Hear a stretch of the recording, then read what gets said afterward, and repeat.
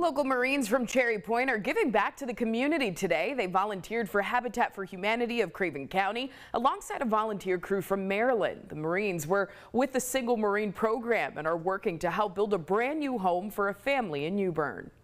It's truly a blessing, like because they didn't have to come out here. They could have been doing other things and they decided to come out here to help us, so it means a lot. We serve our country every day. That's probably one of the biggest volunteer efforts that I can think about, but it's also nice to give back to the community and see just, in, just how much of an impact that we can have on our own people as well.